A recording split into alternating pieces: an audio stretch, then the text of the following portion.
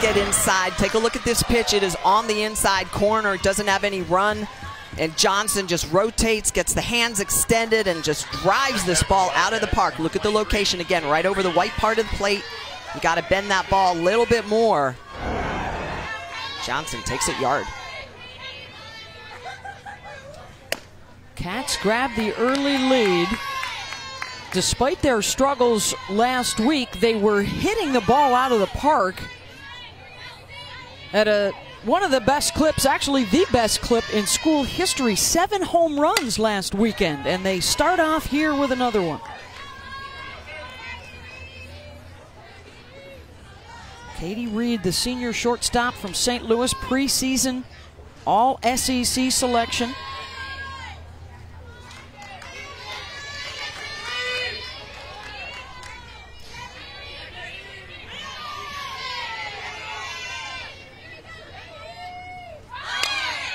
Reed goes small ball, safe at first. How about that? A home run and a bunt to open up the day. Katie Reed knows how to play the game. She is smart. In fact, SEC Academic Player of the Year last year. So she's going to read the defense. She sees immediately everybody's back. A dinger has just given up. She lays that ball down. Perfect zone. Elam, the freshman, coming out from behind the dish, just not in time. The corners have to crash that a little bit better for Oklahoma if they want to try to get out speedy runners. And now one of the top power hitters in Kentucky history, Abbey Cheek. Senior from Inman, South Carolina. Second in home runs, runs batted in, slugging percentage in her career. She's already drawn eight walks, so you know opposing pitchers very selective with what they throw to Abbey. Much respect to her game.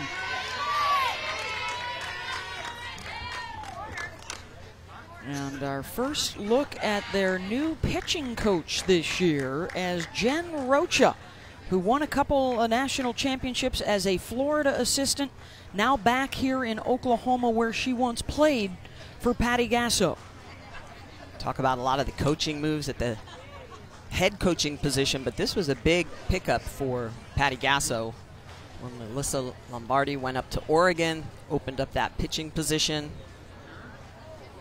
I'm sure right now that coach is just talking to Lopez and saying, hey, look, we got to locate, just work on focusing on getting your pitches, put the ball on the ground. We've got that very solid defense behind Mariah, uh, Mariah Lopez.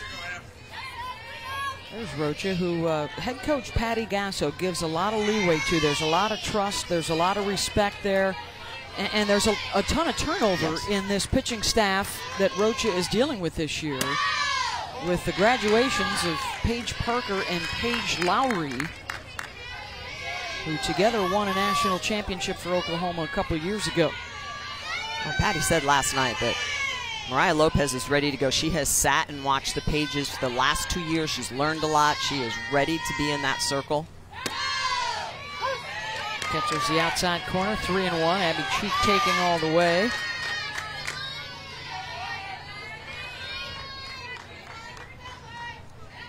Rachel liked the plate discipline that Abbey showed last week, hoping that it will continue throughout the season which could make her one of the most feared hitters in the game. It's ball four. They'll throw down anyway. So two on with nobody out, already up one nothing. Let's check in with Holly Rowe. Well, we just covered a game where the Texas pitcher, Miranda Elish, who has been in the Women's College World Series, said that early in that game she was nervous. She said, I was throwing too tentative. I felt the nerves. This is a packed stadium. It is February. Teams are not used to pitching in front of a crowd like this on national TV. I definitely feel that the pitchers in the circle a little tense, a little nervous. 16 teams here, Holly. 11 of them in the top 25 this week. So a major step up in the competition on the gravity of the situation. Television, February, first time for our sport. It's got a postseason feel to it. You almost feel like, oh my gosh, here's this is the Women's College World Series in February. Alex Martin had a good, uh, good opening weekend that included a home run against Houston. Martin's the junior from McHenry, Illinois. She's probably going to see a lot of pitches batting behind Cheek in the lineup. This is one of the tweaks that Rachel Lawson has already made well, she said, quite frankly, she thinks that Alex Martin has one of the best, if not the best, swing on the team and loves hitting her behind cheek. 0-2 from Lopez. Got her to reach. One down. Nice rise ball on the outside corner. Lopez is going to get a little wiggle. Look at the way she locates it. All about putting the ball in the corner. A little bit of cut out as it's rising up, and that's what you want. You can see the way Martins is going to chase that pitch out of the zone. Number five hitter here is Jenny Schaper, senior from St. Louis. It's a very experienced Kentucky team that played in a super regional last year, lost to Oregon. They got seven starters coming back. Um, one game one of that super mm -hmm. regional in Eugene. Inside the Schaper, one and one. Lopez in the mid to high 60s in the circle.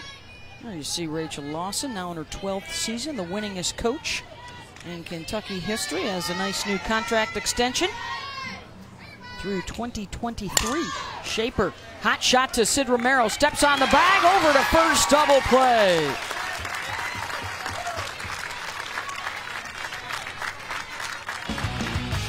Lauren Johnson pitch on the inside corner, drives it out of the yard. Wildcats on top, but the Sooners picking up the bats.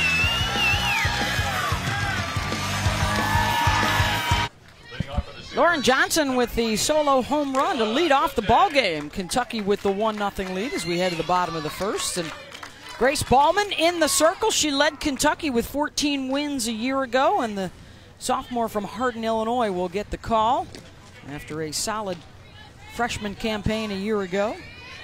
Yeah, here is the starting lineup brought to you by St. Pete Clearwater for your four time national champion Oklahoma Sooners and a group of seniors that has two titles and looking for a third. Caleigh Clifton, the senior from Wayne, Oklahoma, now in the starting lineup for the fourth year in a row. There's four seniors in the lineup occupying for the top five spots. Putting the pressure on early, and that's one thing about this Oklahoma lineup over the last couple years, their success in the circle, obviously really good arms, but the ability to put big runs up on the board, take the pressure off the defense and the pitchers has been a recipe that has come out of that yep. oven in a very nice shape of a national championship or two. And Michelle, it's a it's a team and, a, and probably a philosophy since it's worked quite well. They don't mess around with the lefty slappers at the top of the lineup. They got three righties right out of the gate for Patty Gasso. It usually can field a fearsome lineup in that batter's box. Hall of Fame head coach, four titles, over 1,200 wins, and they have owned the Big 12. It got a little bit tougher this year with the addition of Mike White at Texas and an improved Oklahoma State team. Along with Oklahoma and Baylor, that conference should be a lot of fun to watch. We'll have a bunch of those games for you on our ESPN coverage, which is over 1,200 games this year. 3 2 from Baalman. And the leadoff walk for Clifton. Here's the scouting report on Grace. Baalman is going to throw the ball in the high to mid 60s. She likes to oh, throw a drop curve rise combo. She'll throw all three of those pitches in any situation, and, and really that go-to pitch will change depending on the day. She'll stay down in the zone. What was interesting is earlier this year, last weekend, five home runs given up. All of last year, she gave up just nine, so she's got to keep the ball in the park. You mostly do that by keeping the ball down in the zone, which she worked against Clifton, but she issued that walk. And a big challenge right here, Jocelyn Alo, who hit 30 home runs a year ago in a freshman campaign that saw her claim first team All America honors.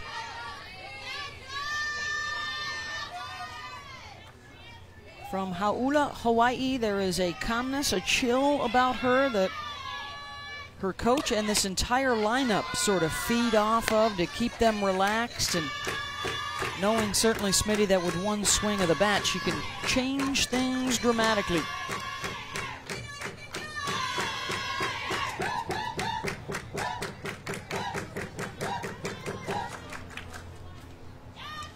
Early in the season, uh, you're checking your cards, you're making sure you're seeing things properly, you're, you're all on the same cheat sheet that so many of the teams use now on the wristbands so that uh, opponents can't steal the signs.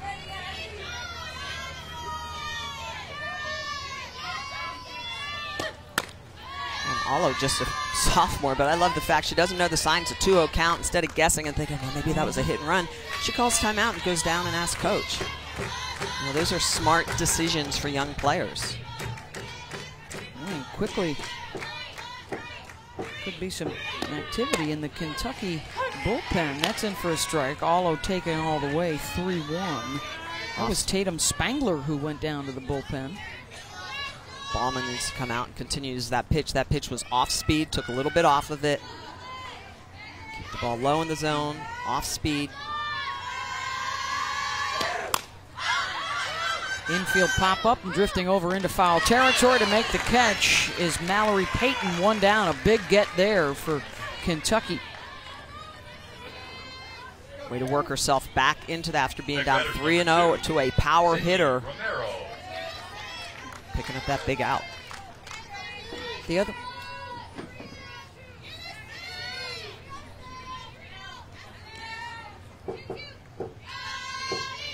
Sydney Romero now stepping in, the senior from San Diego. Thought about the bunt. All American last year really was a force to be reckoned with at the plate. And one of the great things about Sydney is with all the the numbers that she's put up, it's the small number that is so meaningful. She hardly ever strikes out. She's always going to put the ball in play, make something happen for you. She can hit to all field. She has power. She'll drop a bunt. She's smart. She'll try to move the defense by what she's doing in the box. Hence, first pitch, showing a little bit of a sneaky bunt, try to pull the corners in. What that does is it opens up the 5 6 hole.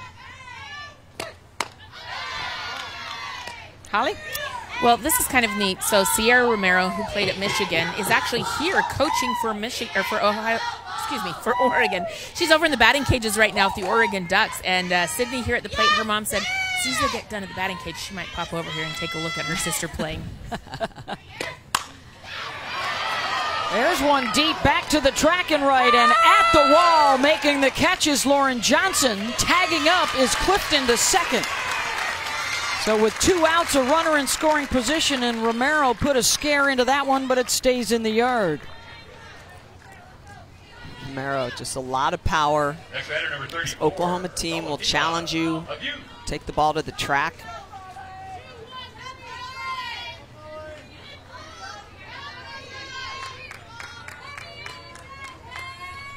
Fale of you in the four spot, another one of this senior class. You've got four of them in the first five hitters in the lineup.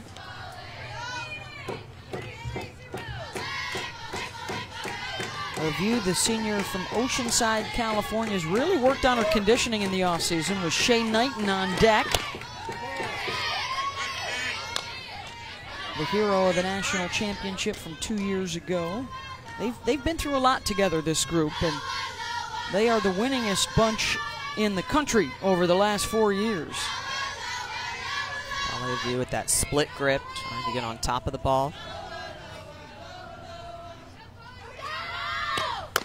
You know, Beth, you talk about these seniors and how much they've done for this program, but it's their work ethic as well. You know, Romero steps in the bucket and almost drives the ball out of the yard opposite field. Mm.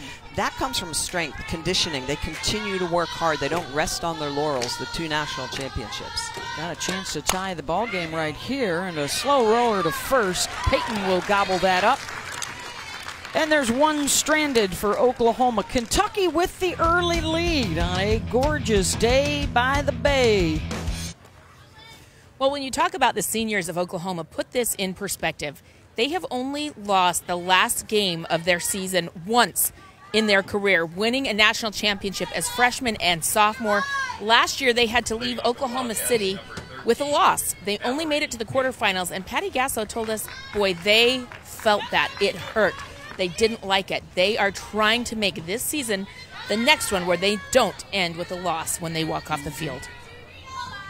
Yeah, it was uh, it, it was actually strange to see uh, that Oklahoma they, they lost the opener to Washington and then came back to beat Arizona State and to um, eliminate Florida before falling again to Washington in the national semifinals. And with Keilani Ricketts looking on, so many of these players love coming back and being a part of this program. Well, it was interesting what Patty Gasso told us as well is that after they were bumped from the World Series, they were watching Florida State and how much fun they were having and how they were just in the groove. And they were like, hey, that's how we were our freshman and sophomore year, that senior Yeah. class. They visibly could see it and realized they weren't there last year. They, they felt the gravity of the situation and 57 and 5 undefeated in the conference. And the 12th women's college world series appearance. They've got three titles in the last seven years. You could certainly talk about that being a dynasty.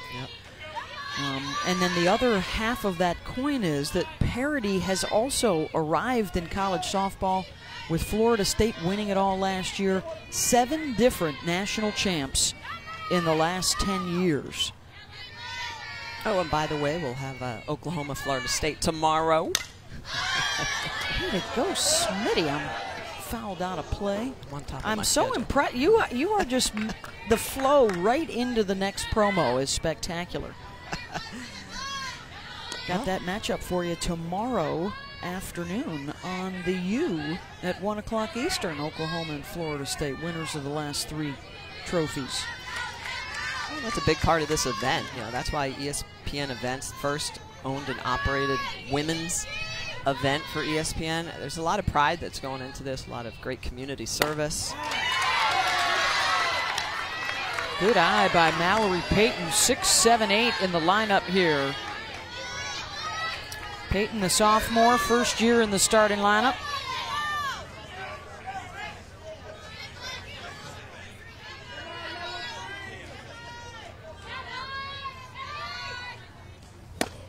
The strikeout for Lopez. That's the second for Mariah, one down. Lopez with that curveball, you just can tell the way she's bending this, the body lean, the snap, getting that ball in the outside corner, and Peyton just swinging through it. So she's worked for two years with Missy Lombardi, and then Missy moves on to take the Oregon head coaching job, and now she's working with Jen Rocha. She she's got Keilani Ricketts whispering in her ear. She's got Delanie Gourley, who is another grad assistant. Of course, played for Jen Rocha and Tim Walton at Florida. It's it's a one heck of a dugout over there with all the the amazing pitching minds pop up to short. Grace Lyons, who took over for Kelsey Arnold this year, two and, down. And, and lefties, they're all lefties. Every national championship that Patty Gasso has won has been with a lefty in the circle. So, in the two you just named off, some of the, the best lefties uh, in NCAA history, and Gourley and Ricketts. And those young kids can absorb, they can be a sponge and just And of course, soak it all up. Lopez coming from the right side, but they did add the left-hander in G. Juarez, the big All-America transfer from Arizona State, as uh, well as another righty Shannon Saile. So they've restocked the pond. Here's Bailey Vick in the eight spot in the lineup. Another split gripper.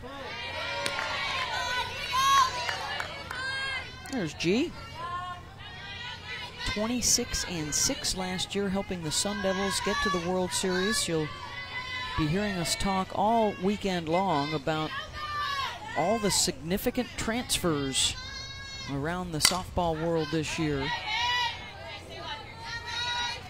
Basically, the the change you used to have to ask for permission to leave. Now you can enter the transfer portal simply by saying, "I am going to leave." It's kind of like being a free Yeah. agent for three mm-hmm. weeks, see who has openings, scholarship money for you.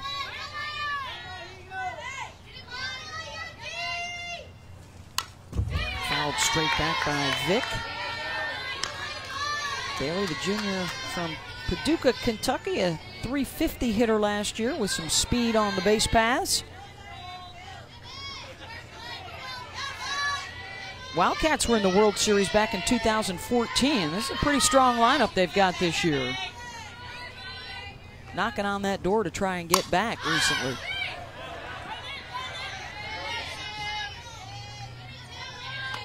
I don't think it's going to be managing expectations for the Wildcats. They had that great season last year. They returned seven of the nine starters from that super regional. They went up to Eugene, and even though they're picked middle of the pack in the SEC, this is a team that can do a lot of damage, but they've got to be able to pitch well in the circle. It was a little bit of an Achilles heel last weekend. Vick waits on it, drives that one out to left center, and tracking it down is Nicole Mendes. The Lauren Johnson home run still the difference. You can St. Pete Clearwater Elite Invitational, presented by Wilson, is brought to you by Visit St. Pete Clearwater, home to America's best beaches. And Wilson, the official glove of national champions and Olympians. There's Michelle's house, I think, right second from the right there on the intercoastal. Uh, great shots from around St. Pete and Clearwater here at the Elite Invitational, presented by Wilson. That was actually a Paso Grill. Oh, pal, um, Paso Grill down uh, on the intercoastal, but you were spot on there, BMO. this is a young lady right here that a lot of folks in America are hoping that she can stay healthy throughout the season because when her knees hold up, she is one of the sweetest swings in the game. Hampered by her knees last year. She may be limited to more of a designated player role this year. But of course, she was the hero a couple seasons ago of their national championship in the big 17 inning win. Well, and, and Beth, one of the things that you rarely see in baseball or softball are, are hitters using sneakers instead of cleats or spikes. It's just so hard to really get any momentum. You know, we, we really gain our power from our feet off of the ground, and she's just using a regular pair of sneakers just because she's had those knee problems.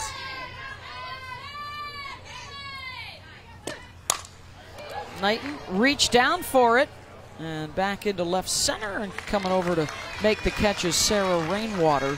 One down. Let's take you back to that 17 inning affair when she was the most outstanding player and the home run that proved to be the game winner against the Gators in game one of the Champ Series.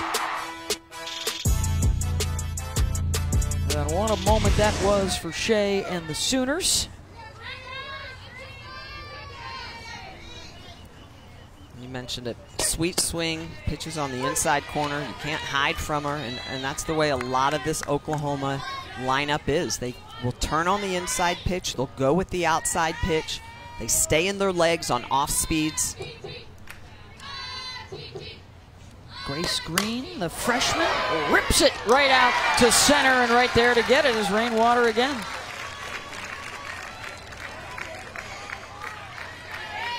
Two down.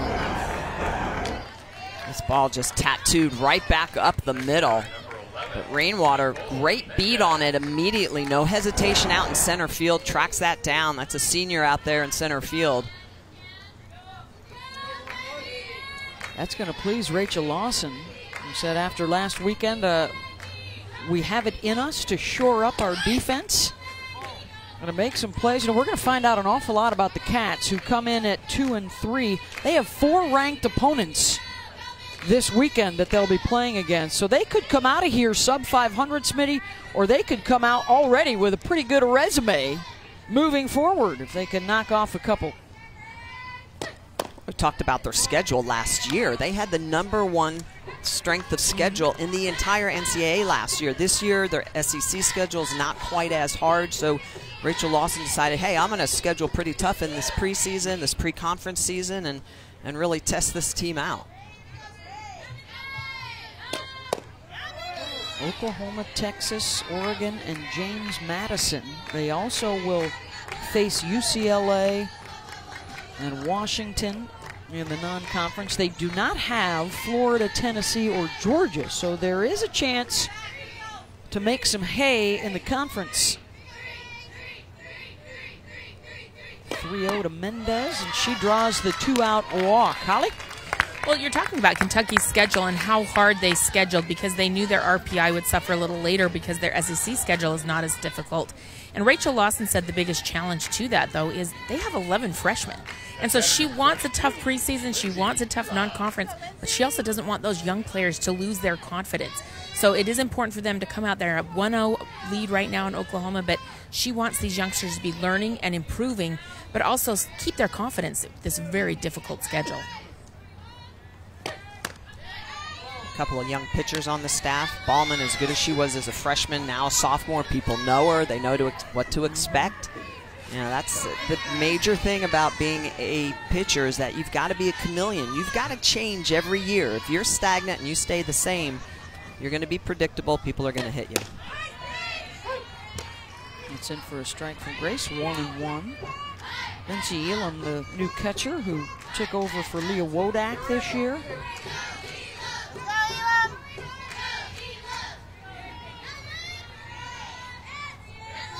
Expectation is she'll be a little bit better at the plate. As good as Leah was defensively, they're hoping Elam can provide a little more pop.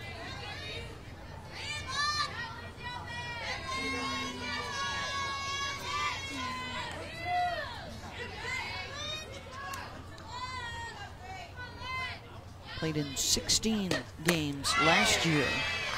Healthy cut at that at 64 miles an hour, 2 and 2.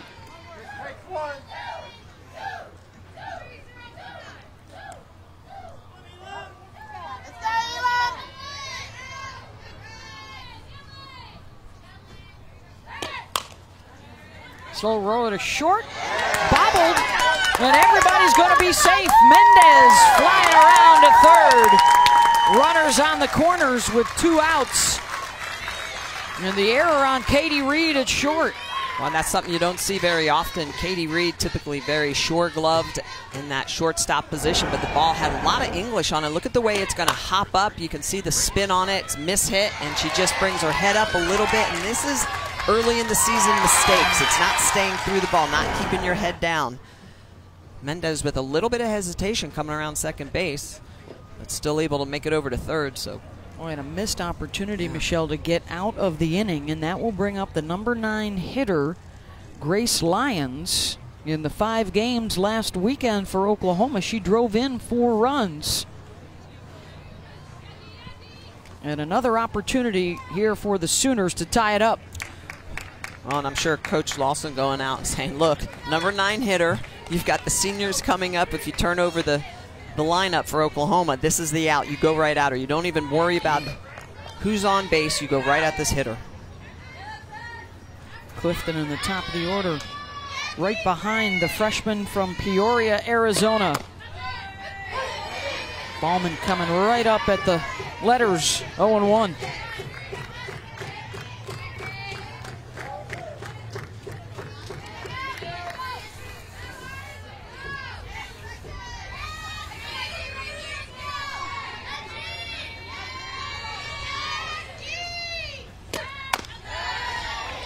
Missed it high, 1 1. Had a chance to score in the first with Caleigh Clifton in scoring position. Couldn't get her home.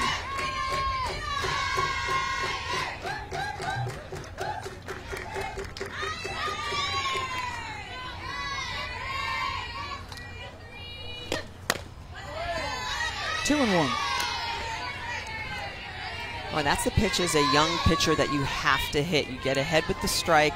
You come back with the rise ball a little bit more out of the zone. You don't get the batter to bite. You go to the outside corner. You got to make that pitch. You got to be in control.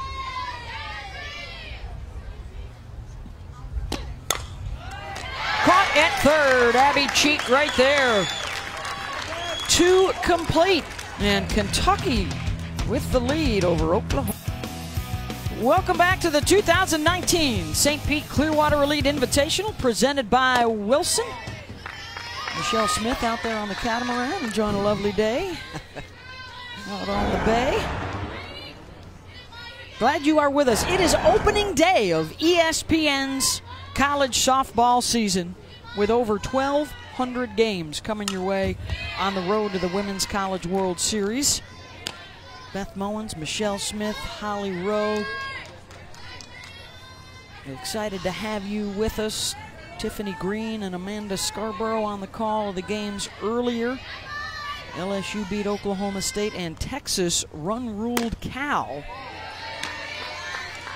Couple of good storylines there. Can LSU continue to hit? That's always been an issue when they've gotten to the World Series. They've always had outstanding pitching. And of course, Texas under new head coach Mike White and the four Oregon transfers that all looked good today. Shannon Rhodes a home run, Miranda Elish with the win.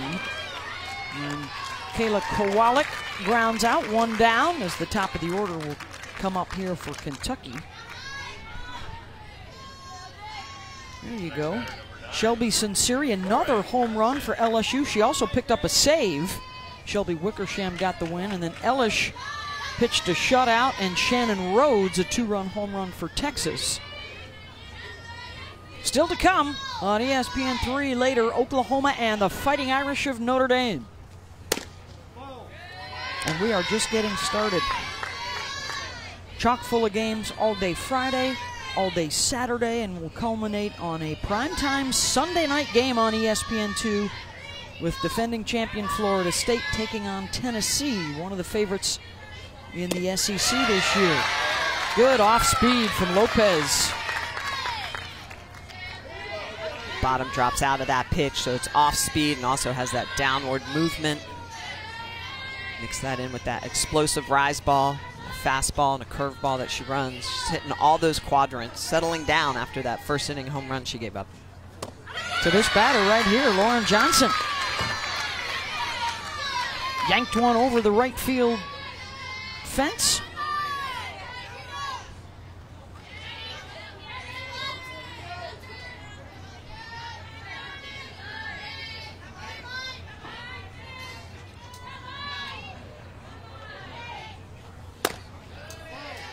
And two, just away. Let's take you back to that home run swing. It's a pitch on the inside corner, and it just stays on the white of the plate. Johnson just gets extended, rotates on it, and pops it out. This at bat, Johnson has seen nothing on the inside corner.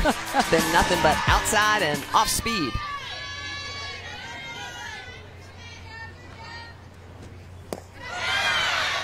Out to throw down to record the out. Third strikeout for Lopez, two down. Oh, and that's the difference. She locates the pitch at a different speed and a different location. Look at the off speed. Look at the way it's going to rotate out of her hand in the opposite direction. It's a flip changeup. And Johnson just way out in front. That ball diving down into the dirt. Good job behind the dish by the freshman Elam to, excuse me, sophomore Elam to pick that up and get it down the line. Elam got it. Easy work made of Katie Reed as Lopez has settled down nicely. 1 nothing Kentucky, top of the order, coming around for. Welcome back to uh, Clearwater and the Eddie. Moore complex. That youngster getting a little extra work. We head to the bottom of the third and the top of the order for the Sooners, who trail 1 to nothing. Oklahoma opened up last weekend 5 and 0.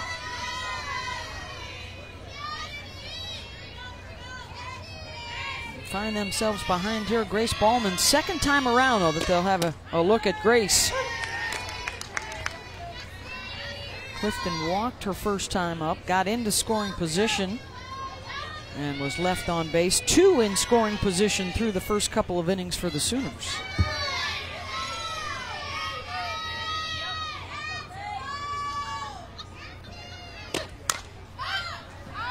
And Michelle, this is one of the more feared stretches, I think, uh, of any lineup in the country when you go Clifton, Alo, Romero, Aviu, Knighton. Holy cow. Pick your poison. It is. It's about locating it, working from ahead. And when you're in that circle, you just have to focus on that one pitch at a time. Clifton. Off the fence down the right field line. Patty Gasso likes to call her the. If there was a model player at Oklahoma, it would be the senior they call Cece. A huge Sooner fan growing up out of Wayne, Oklahoma. And a fabulous ambassador of this program. Stepped on the field as a freshman and didn't mm-hmm. know if she belonged. Yeah. And coach had to tell her, look, you are here for a reason. You're good. We didn't bring you here for nothing. And look what she's done. I mean, she knows how to get on base. Those first two stats, your ability to take gifts from the pitcher, and then once she's on base, she knows how to move to the second base. One two from Baalman. Drives that one back to the track and right and spinning the defender around. Johnson lost it. Clifton motoring around to third. And the leadoff triple for the Sooners.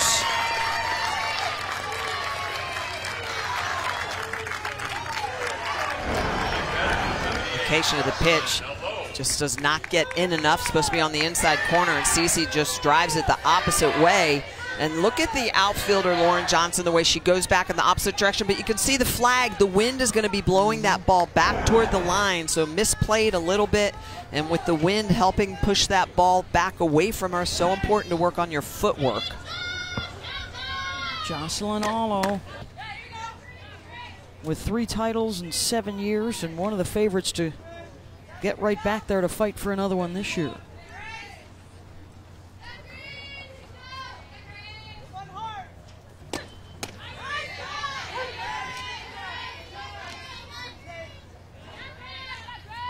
Last pitch at 52 miles an hour from Baalman. I think that's the pitch she needs to use more often against a very aggressive lineup like Oklahoma. Use that pitch on the corners and then velocity after you're ahead.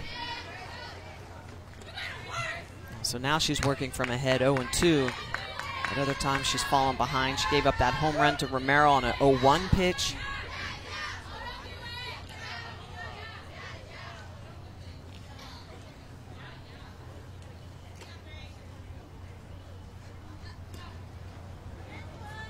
All the scoring via the long ball here. Lauren Johnson, the solo shot. Sid Romero, the three run dinger. Pulled foul.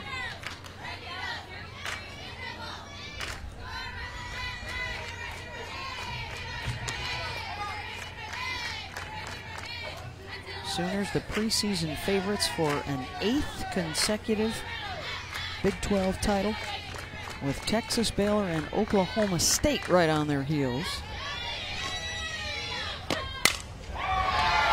There's a base hit, could be extras. Grace Green to second, and she'll slide in safely with a two-out double for OU.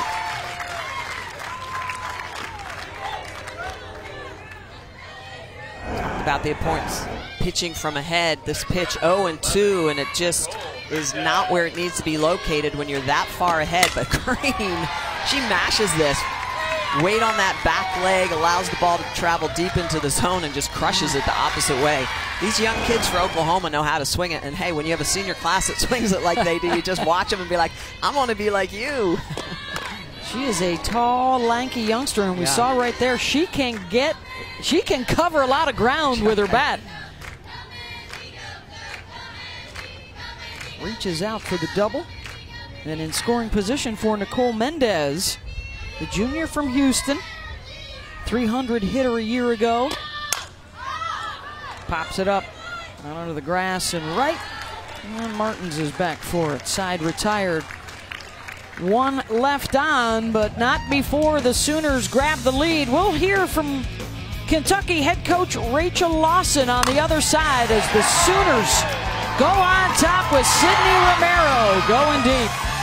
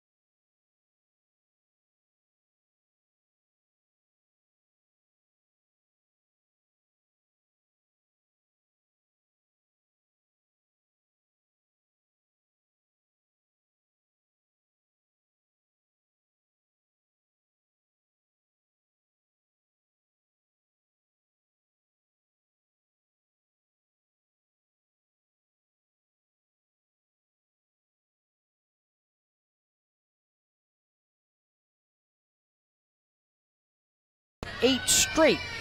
And now we'll face the heart of the order and the dangerous Abbey Cheek, who walked back in the first.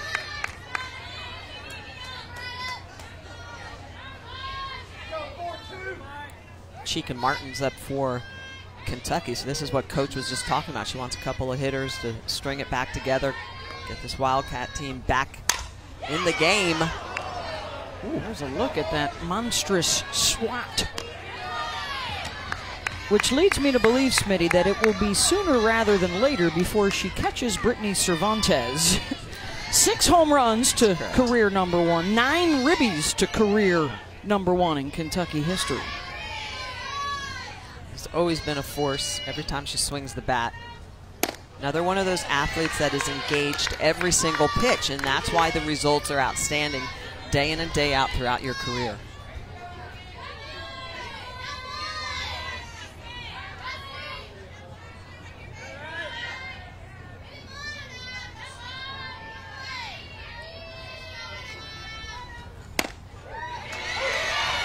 Nibbles on the outside corner, two and two.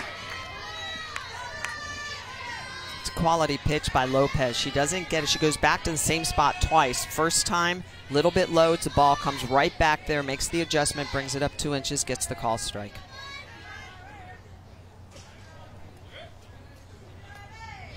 Wants to talk it over with Lynnsie Elam. Lopez, the understudy of Paige Parker and Paige Lowary the last couple of seasons. She actually was the winner of game two of the championship series in that 2017 championship campaign.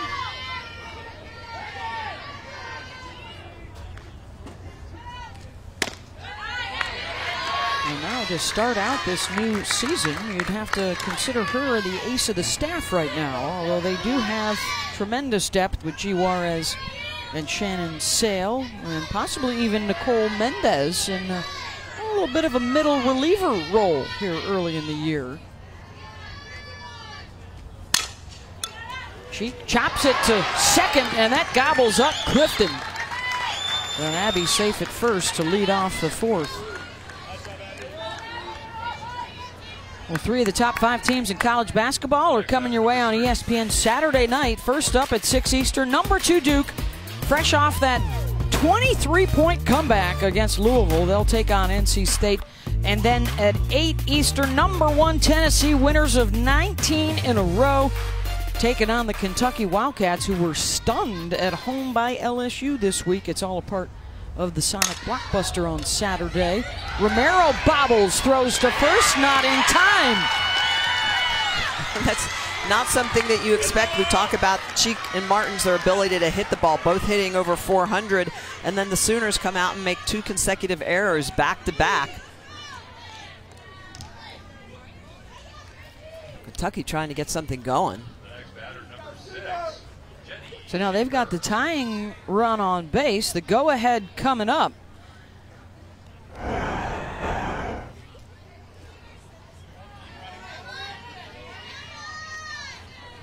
Not in time to get Martins over at first. They're going to get a pinch runner on.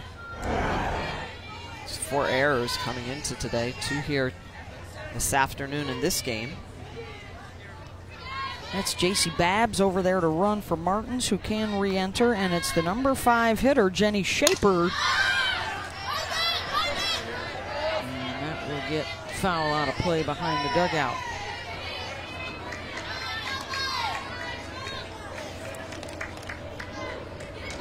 So a couple of errors in the inning. Oklahoma had four in their first five games last weekend.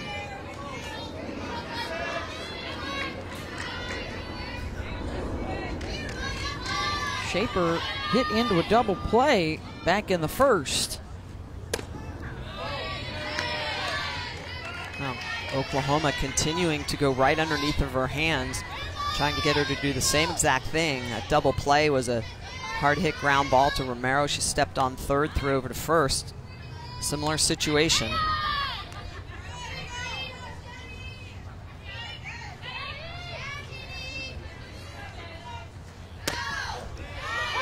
That's the pitch that actually Schaper needs to go after. In your this situation, you're thinking right side. I want to hit the ball to the right side, not the left side, because I am a double play potential if I go left side. That pitch on the middle outer corner, that's what you need to be looking for to drive the ball through that 3-4 hole. One two from Lopez. Goes opposite and out to right field. Catch is made. Cheek will tag and head to third.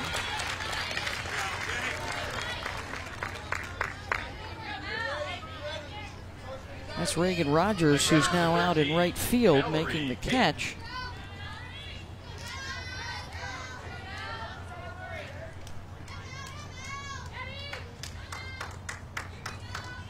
That'll bring up Mallory Payton.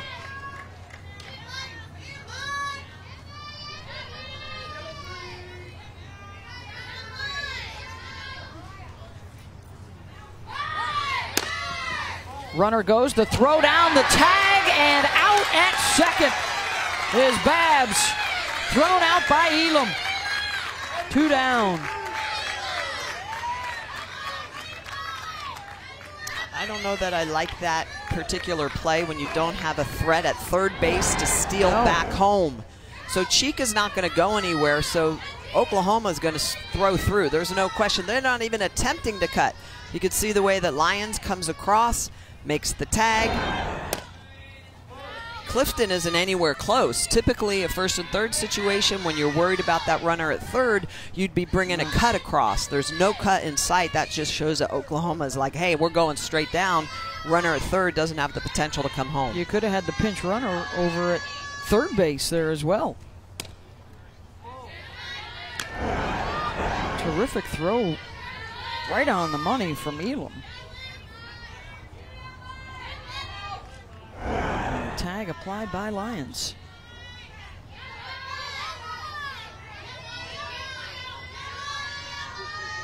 Three zero to Peyton.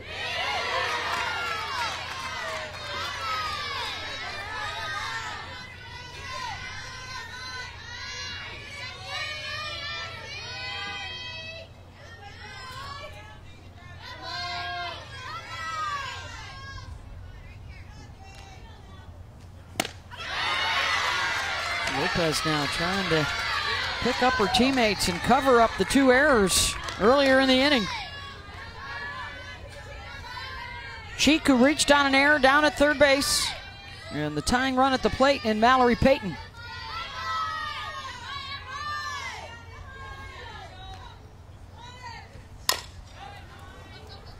Romero just inside the line. The throw over to first. A collision at the bag. And Green was able to hold on for the third out. Oklahoma gets out of it and a 3 1 lead. Romero fires over to first. Sooners on top. And we'll chat with Patty Gasso when we come back. Welcome back to Clearwater. We are here with Oklahoma coach Patty Gasso. Sorry, I was a little late getting out of here. Sorry. Coach uh, Mariah Lopez, she gives up the home run, her first bat at bat, and she pulls herself together. How did she do that? I, she's a veteran, although she hasn't really been on the mound a ton for us. She knows how to do it, so I'm really proud of her, and she's getting out of some big innings. I know defense is your pride and joy. Tell me what you're seeing with your defense right now. A little bit shaky, but what we what we just talked about, I mean, literally, is we made a couple flubs, but our catcher gets us out of it. Our first baseman gets us out of it, gets us out of it. So it's going to happen. We just got to keep counting on each other to pick each other up. So we're good. Okay, thank you. Thank you for having us here. This is inaugural and it is great, and we're absolutely honored to be here. Thank, you. Thanks. Thank you, Patty and Holly, here at the St. Pete Clearwater Elite Invitational presented by Wilson. Owned and operated by ESPN, the first venture into hosting a softball tournament. Kudos to everybody involved and all the folks here in the St. Pete Clearwater area for taking great care of us. This is opening day of our ESPN softball coverage on the road to the Women's College World Series. Yeah, there have been a lot of people working long, long days. City of Clearwater Parks and Rec, Mike Lockwood, Kevin Dunbar, know, ESPN events, the county of Pinellas County has really been a, a big asset.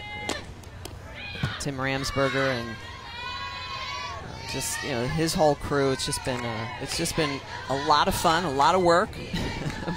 Meg Aronowitz on the uh, production side. And then, of course, we get uh, all of our ESPN friends here get to show up in town and put on this lovely event. Good to see everybody.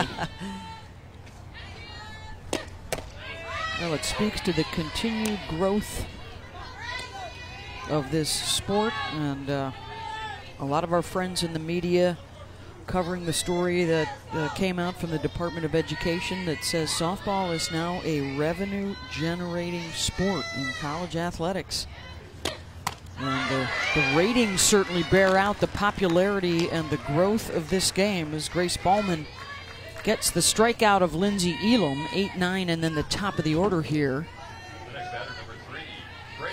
We got uh, another special guest. This is a big tournament when folks like this show up, Holly Rowe. Um, I mean, we're talking about Tampa royalty right here. This is Florida State superstar Jessie Warren. That's right. And Jessie, you're from this area. What brings you back here to this tournament?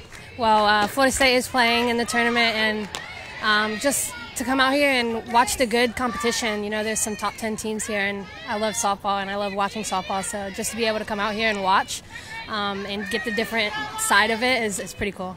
Okay, so if you remember the last time we saw Jessie Warren, she was making the play from third base that was up for an ESPY, where she dove in, got the ball out of the out of the bunt off the ground. Oh, we're Um, seeing it right now, Holly. Oh, There good. We're seeing the There replay right now. Perfect. That's because our producer Joe Taylor's a rock star. Um, but you are going to open up your own facility here in Tampa. How are you going to capitalize on what you brought to the Seminoles for young women here in this area? Yeah, so uh, me, Jessica Burroughs, and Gianna DeSalvatore are actually opening up a facility here in the Tampa area. It's going to be called the Clubhouse. Um, it should be opening up in the next month.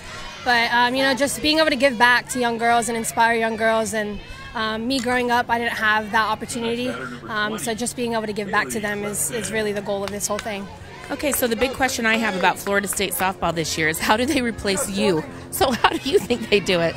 Yeah, um, I think you know they've got a good squad. Um, their lineup is they'll figure it out. Carson Gordon, Callie Harrod, um, two big leaders for that team, um, and you know with Megan King in the um, circle and the new freshman faces, uh, they've been pretty good for the past five games that I've seen. So I think um, the coaching staff is good at figuring things out like that. So I think they got it. All right, that's your national champ, Jessie Warren, just, you know, here at our event. I'm just like starstruck. It's super cool. That's awesome. Thank you, Holly. Always good to see Jessie Warren and, uh, of course, the Seminoles and Lonni Alameda bringing that uh, first national championship back to Tallahassee. You talk about perseverance 10 trips That's right. to the World Series before getting it right and bringing it back to the state of Florida. Well, and she talked about the royalty here in this Tampa Clearwater area. There's a lot of great ball players that come out of here. She mentioned Gianna Del Salvador, who had a great career at UCLA, Jessica Burroughs, who was also at Florida State a couple years ago. Uh, Elizabeth Mason, who plays for Florida State, had a couple of big home runs uh, in the championship last year. So Clearwater Bombers, right, Bombers, have been uh, legends here for decades. Herb yeah. Dudley, you talk about Eddie C. Moore was a manager. Reaching forward and driving it right down the line and almost taking out our cameraman out there beyond the left field fence.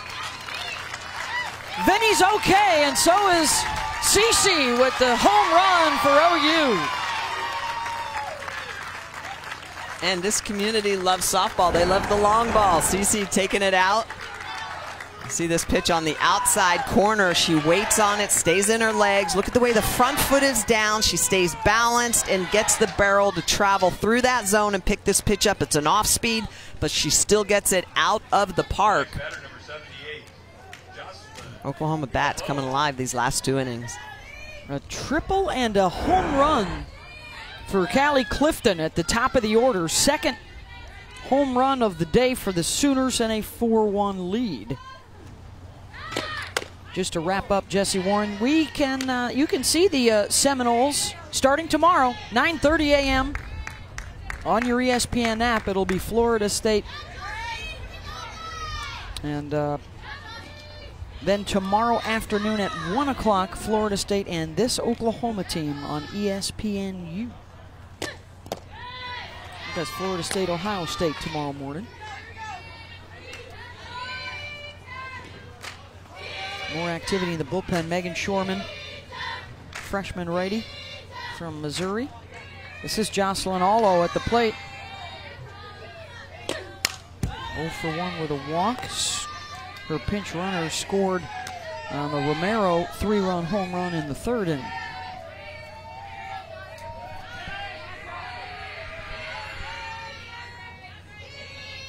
Sydney waiting her turn.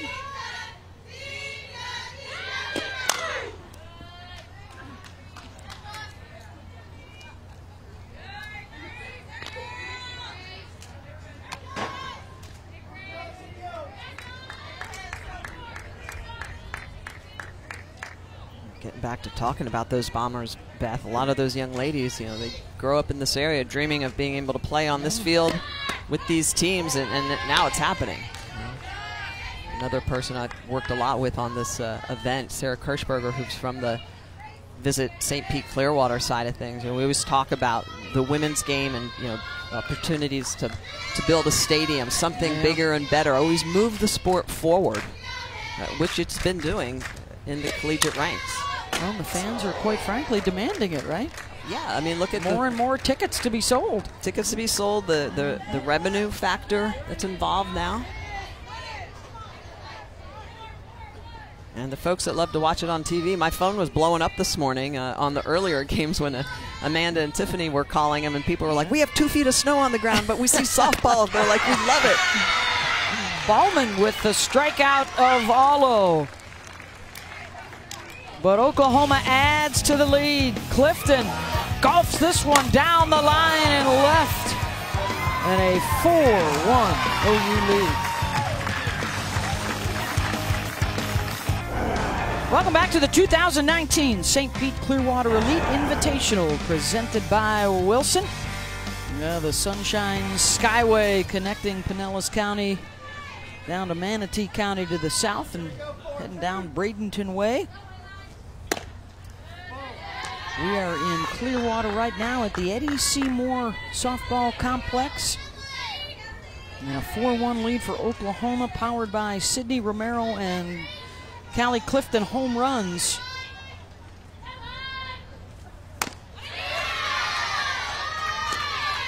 Pinch hitter here is Kelsey Henson, 7, 8, and 9 in the order due up.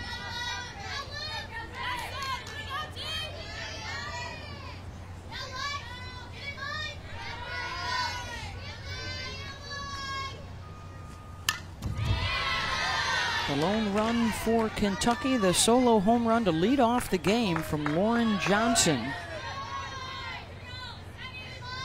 They didn't have a base runner in the second and third innings. They got some assistance with a couple of Oklahoma errors and threatened in the fourth, but then Mariah Lopez shut them down just outside the bag.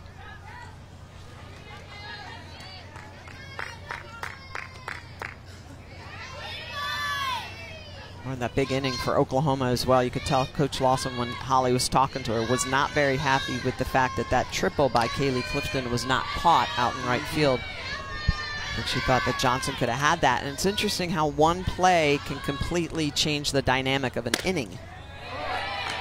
The younger athletes, you know, this is that time of the season that they're learning that. Uh, the learning curve is very steep.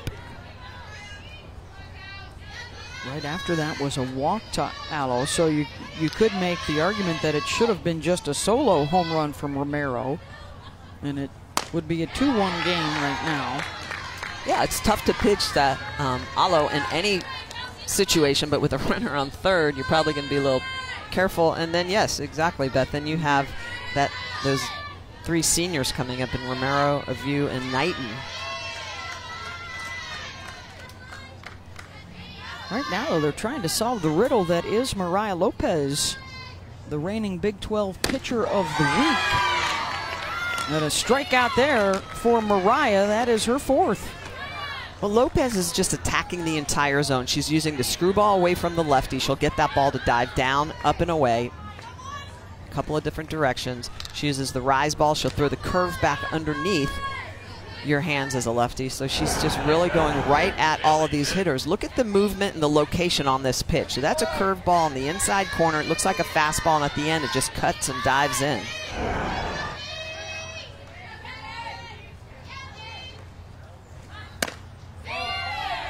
Mariah picked up a couple of wins last weekend for the Sooners, beat uh, Syracuse and Charlotte, and spun a couple of one hitters for the Sooners.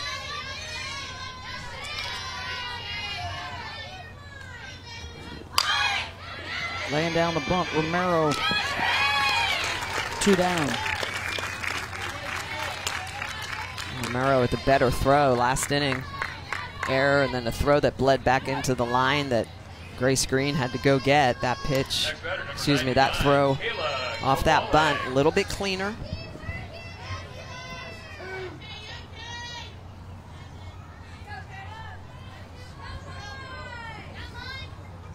Kayla Kowalik in the nine spot in the order.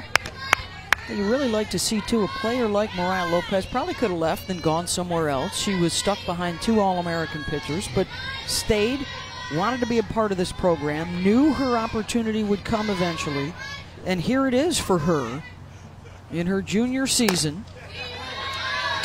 Patty Gasso has talked about her confidence, how she has worked hard to prepare for this moment, how she's worked with Keilani Ricketts, who is a grad assistant for the Sooners and a member of the U.S. national team, possibly the Olympic team that'll be going to Tokyo in two years, who has that national championship game winning experience herself.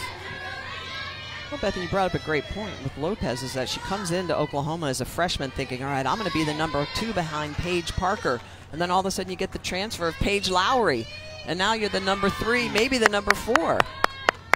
But she hung in there and, and she's now taking the bull by the horn. She's doing a great job leading this staff early in this 19th season.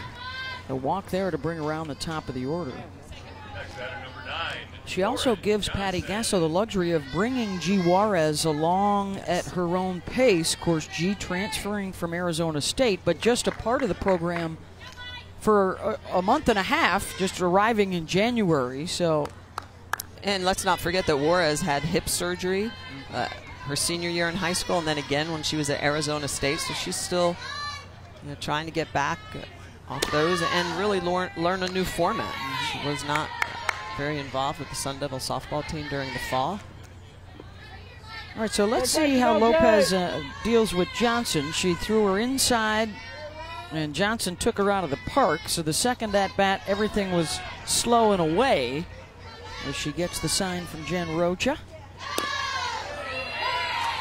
I love it. First pitch, she comes in with the screwball in the outside corner, doesn't get the call, comes right back with the off-speed pitch. That's what was so effective. She struck her out with the off-speed pitch in her second at-bat. I can guarantee you Johnson is going to see everything on the outside corner, low and slow.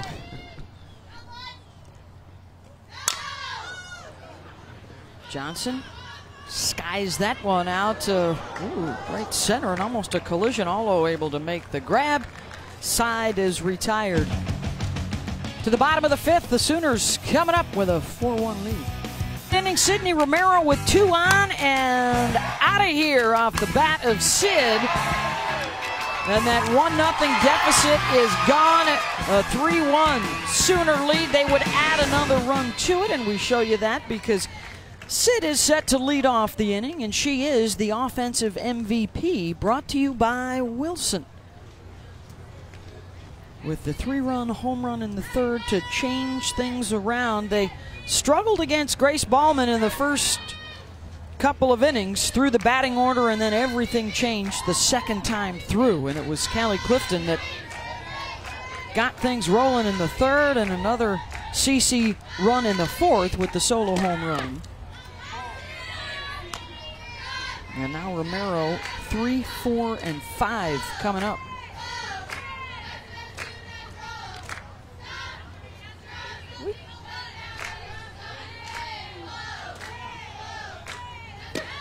Fale Aviu on deck, the grounder to second. Alex Martens over to first, one down, and Holly with a special Sooner guest. Did you say Paige Lowary? Because I found her, and um, she's actually here watching games. You're watching your Oklahoma Sooners, of course, but why else are you here? It's very special. My sister is playing for Minnesota, and I get to watch her for the first time in college, so really excited to do that. Rachel Lowary will be playing for Minnesota starting tomorrow. We were just talking about how many pitchers Oklahoma lost. You know these young kids in the bullpen. Tell me what you know about these other pitchers in Mariah Lopez and Parker Conrad that you can tell us about. They have been waiting for their time and they're ready to go. I think they're really motivated and they're showing it on the field. I'm just really excited for them. You talk a little bit about you're giving lessons. Now you're the one teaching other people how to pitch. What is something that you would tell these young pitchers to keep in mind in this moment in the circle? I would say just to stay really present, not to put too much emotion into the present or, or the future or the past, but just stay really present in the game and just take as much emotion out of it as possible at the time, but celebrate great things and don't don't harp on the bad things too much.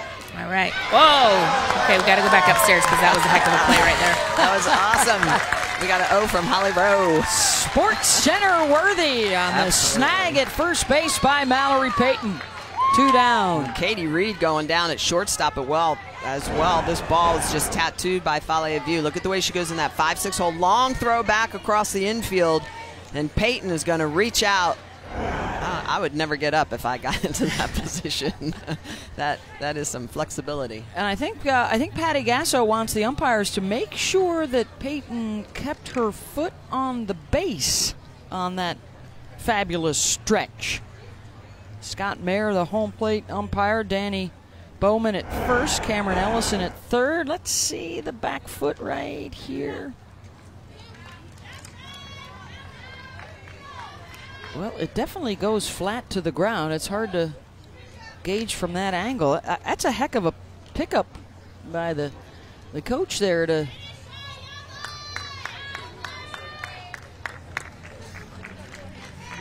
Uh, I don't think they're going to be able to make that call by from no. the naked eye right there. They're not going to turn it over, No. but that is close. Looks like it's laying up against the side. The heel of it is.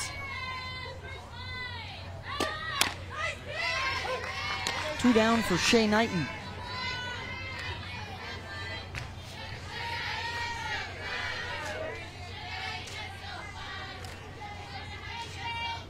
Threw out to center in the second inning, grounded to the right side in the third.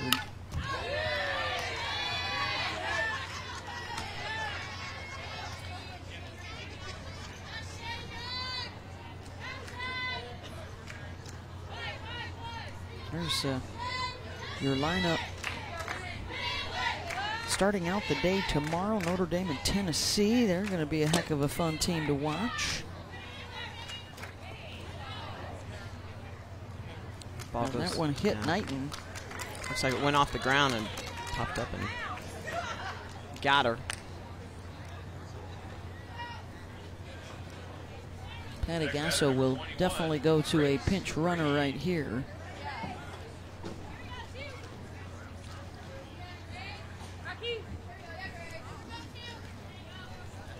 Hey, Beth. Um, Yes, this is Holly Rowe down on the field. I, I just wanted to see if you could, whoever is in charge of making gifts, um, could we get that split catch at first, a gift by the end of the day? Could we get somebody in the truck on that, please? I'd We like to have that on my phone to be able to gift to people. We will get our social media folks right on that. Okay, thank you. That just would, asking. that would be a spectacular gift right there. I mean, come on. D it up the way Mallory Peyton D's this up.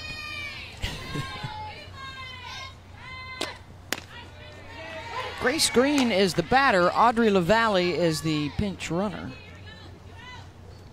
Five spot here in the order.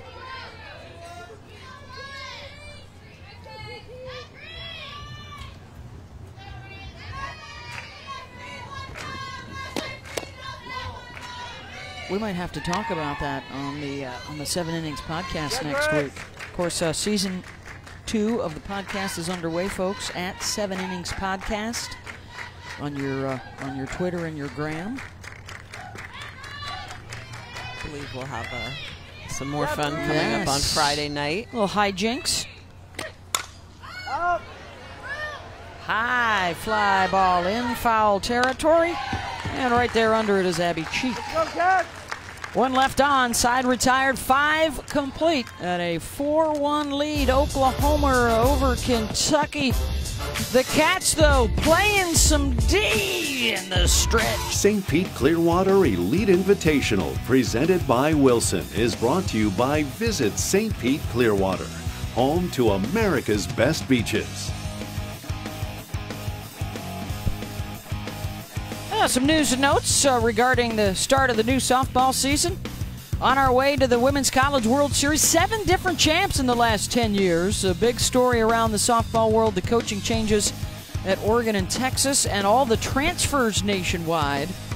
And excited uh, in our travels to see some of the new digs. Texas A&M unveiling a brand new stadium and then major renovations at Hillenbrand and uh, Katie Seashole Pressly at Florida. Congrats to uh, the administrations, the athletic departments for stepping up and uh, whew, standing up for all the fans who are going to love watching softball, continuing to watch at those places. Well, in the SEC tournament out at Texas A&M this spring. Wait. To be fabulous. Davis Diamond. Davis Diamond. Two, three, and four. Amanda Scarborough, I know, is uh, super excited about that Oh, as well. Oh, the She fighting went back there. Scarboroughs, yeah. They- She said you have to see it in person. She said as beautiful as the pictures are, you've got to see it in person. Reed. Out to Aviu in left. One down. What you got, Holly Rowe? Well, speaking of administration stepping up for softball, Rachel Lawson wanted us to give a shout out to her athletic director, Mitch Barnhart at Kentucky. Every single year she's been at Kentucky, he has given her a contract extension 12 straight times. He has seen what she's done in building this program. They've put a new stadium in down there in Lexington. And she said, you know, shout out to our administrators who have our back and are helping us build this program. And Holly, there's a lot of excitement uh, at UK right now. They have already set a new record for season ticket sales. And next year's recruiting class is a top 10 class. That's the best they've ever had there. And we've got a pitching change for Oklahoma. Mariah Lopez will come out. Whoever comes in is going to have to deal with the dangerous Abbey Cheek, and it's Shannon Saile when we come. Shannon Saile is the Land O'Lakes, Florida native. Uh, all Conference USA selection last year at Florida International. Then transferring to Oklahoma. And coming on in relief here to face Abbey Cheek. Walked in the first, reached on an error in the fourth after Mariah Lopez went five and a third. Four strikeouts and just the two hits, both of those in the first inning. Lopez working herself out of uh, some trouble. A couple of defensive miscues. Nice outing for. Checking out the uh, pitching stats there with Parker Conrad, and Saile gets Cheek to pop it up. Lyons has it two down. Here's what we can look forward to from Shannon Saile, the righty this year. Shannon is the hardest thrower on the team. She's going to be in the ups, upper 60s. She's going to locate pitches. And one of the things that I loved about Coach Gasso talking about Saile and her entire staff is she's going to be used in relief. She's got that really good ethic. She gets on the on the mound and just wants to dominate. She kind of has that moxie she talks about. And so Patty says, look, I'm going to teach you all that mentality to be a starter, a middle, and a closer. And she does have that closer mentality coming in in relief. She wants the ball. And with that velocity and that location, it's what should help make her effective. It worked so well a couple years ago. I mean, Holly just talked to Paige Lowary, and when they won the championship a couple years ago, it was often Lowary as the reliever slash closer behind Parker as the starter. They've got the arms to try and do something like that at Oklahoma. As we continue to move more towards the pitching staff, we've come a long way in the last decade. Of course, this is the 10 year anniversary of Washington's win, the national championship behind the dominant arm of Danielle Lawrie. Martens pulls that one to the right side and loses the foot race to the bag. And the side is retired. A pitching change for Oklahoma and still the 4 1 lead. Oh, beautiful sunset over Clearwater Beach here at the St. Pete Clearwater Elite Invitational. Beth Mowins, Michelle Smith, Holly Rowe with you tonight. And the four-time national champion Oklahoma Sooners with the lead over Kentucky, four to one, and a pitching change here for the Cats as they will bring in the left-hander Tatum Spangler, who makes her debut in the circle right here.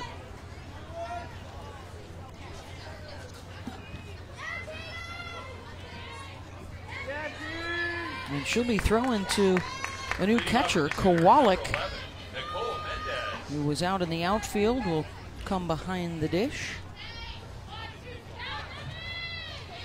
Seven, eight, nine due up here for the Sooners.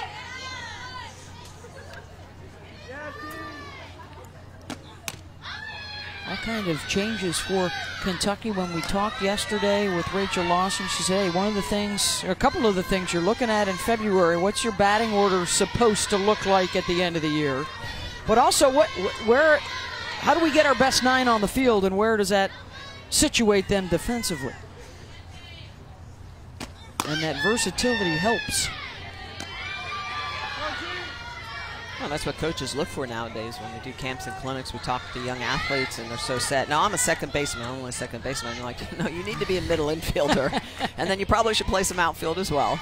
Uh, you know, it's multiple positions will make you a far better asset to your team and to your coach. Just understanding the game from different perspectives.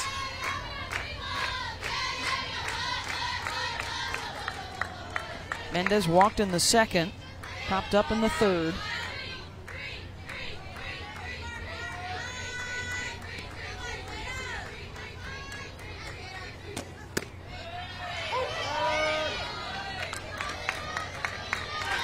She thought she had drawn the walk.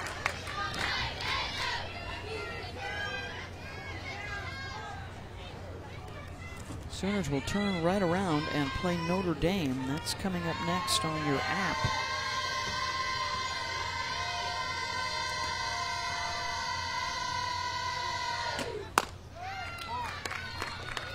The walk to Mendes. Fighting Irish probably have the best win so far of the young season. They upset second-ranked Washington last weekend.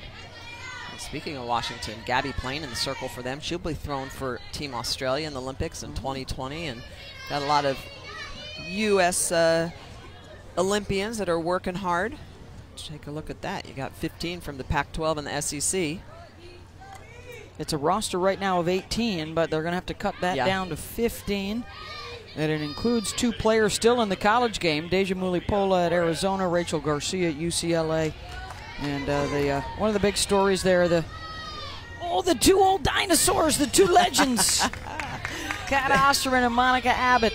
In my eyes, they're young. they should still be throwing.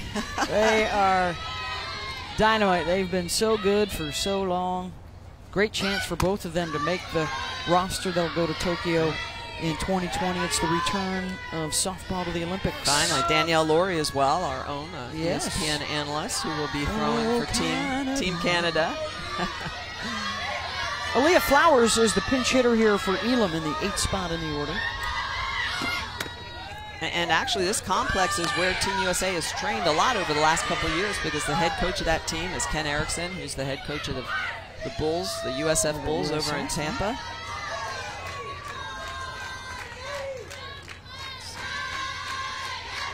Possibility, who knows? Maybe we'll see Team USA next year at this uh, at this event. Oh, would wouldn't- love to have an international flavor. Preview, preview. Preview.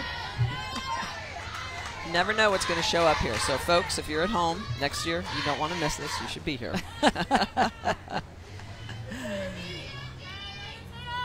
Especially if there's two feet of snow on the ground. Yes, where where you are enjoying the action here just down the street from America's best beaches. Through the right side, the hit and run was on. Mendes all the way around to third, and the pinch hit, base hit for Flores.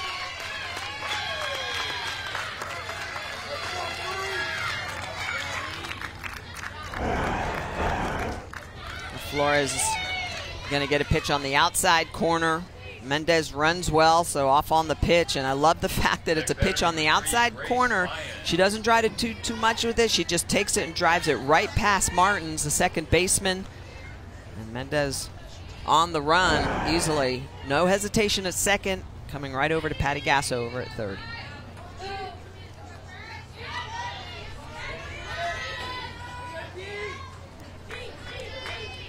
Runners on the corners here with nobody out. Grace Lyons in the nine spot. Grace is 0 for 2. A three run home run in the third inning, Sydney Romero. A solo home run in the fourth inning, Caleigh Clifton.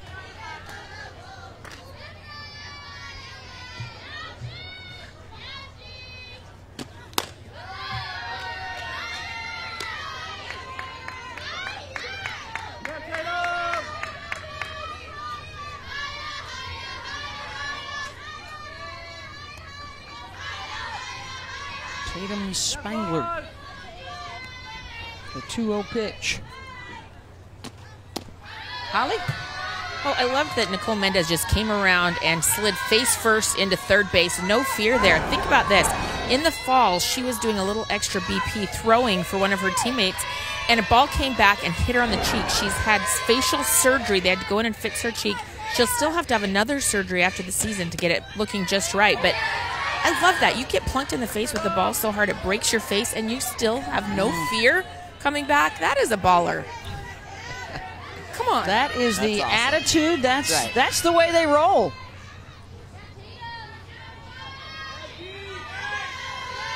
The hunger to win another national championship. That's what makes this sport so special is these young ladies, you know, they work so hard on and off the field and they do anything to continue to win. Very competitive and it shows. Shows through the broadcast. So a struggle here for Tatum Spangler coming on in relief. Bottom of the order loads them up for OU. And Clifton has reached all three times she's come up.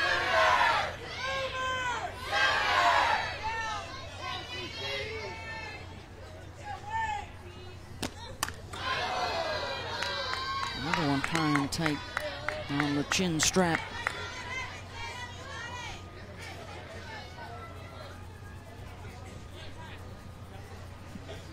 And Rachel Lawson will call time too to come out to talk with Tatum.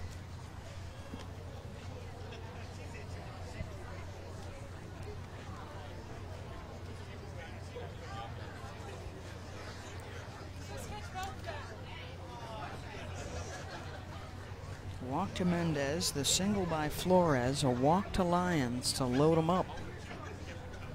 And again, that mentality as a reliever, when you come in, you've got to be able to locate your pitches. You have to be able to throw at that velocity. Uh, the hitters, their second, third, fourth time through the lineup. Issuing free passes is a recipe for disaster.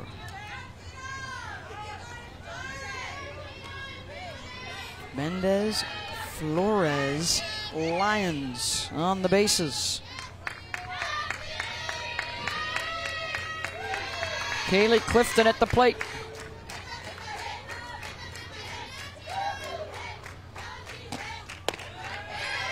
Off speed is in for a strike.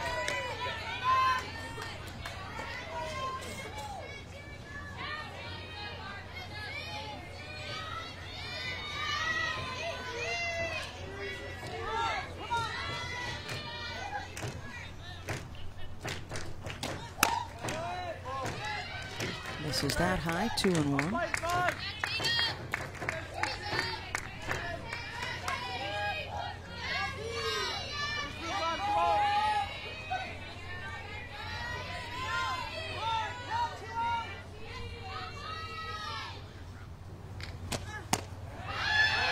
Three and one. Well, those are non-competitive pitches. Those pitches are so far out of the zone that CC, there's no way that you're going to fool her. She's going to try to attack that pitch. Might get some freshmen and younger athletes to go after those pitches, but seniors are typically pretty disciplined by this point in their career, especially with the bases loaded. Ball four, and that'll walk in a run. Third free pass of the inning.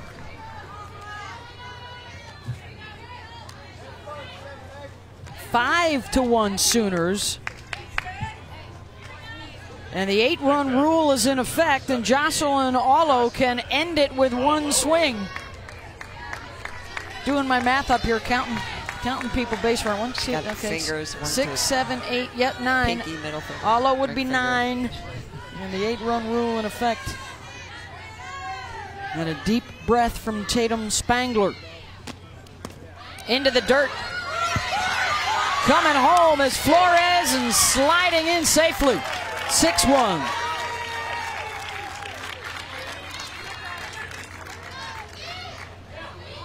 Other runners will move up 60 feet.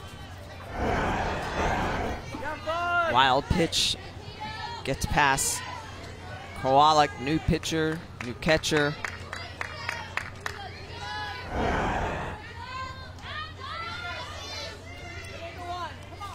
Alo with two in scoring position. Still nobody out here in the bottom of the sixth.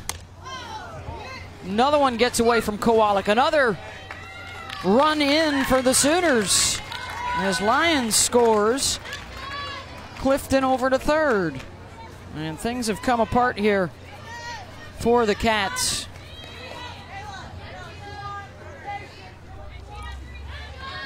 Well, when your opponent's going to score on you, you know, it's one thing if they're bashing it and scoring on their own, but when you're giving it to them, those are the things I'm sure that coach is going to go back and really want to adjust this young Wildcat team. Gets the change in. Two and one. A three run third inning, another run in the fourth, and now a three run sixth inning for OU.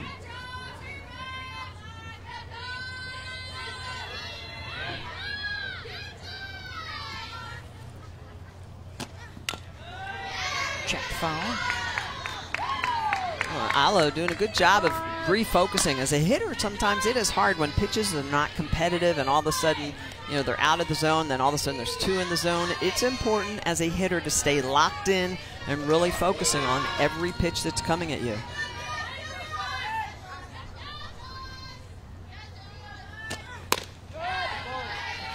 Full count.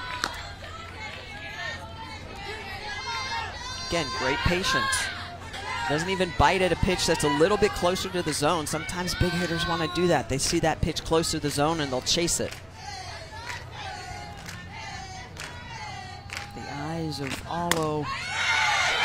Called strike three. Second time she's been caught looking. One down. Well, this is what we're talking about. Non-competitive pitches, and then all of a sudden there's one in the zone, and that's a pitch she needs to attack. She can hit that. So a little bit of a surprise that she doesn't go after that. You can see a little bit of uncomfortable the way she walks through the batter's box. Romero, who's got a three run home run already tonight, we'll have another opportunity here 0 1. You know, and back to, to Alo, I think what happens on that too, Beth, is that as an athlete, you're looking and you're thinking rise ball, rise ball, but the two pitches she was Yeah. fooled on were the off speed. We'll try and get the Cats another at bat in the seventh. Fale Aviu, three ground outs today.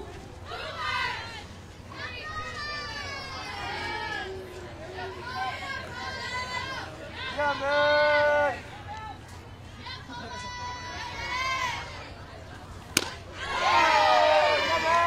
to end it with one swing, 0 2 out of the zone.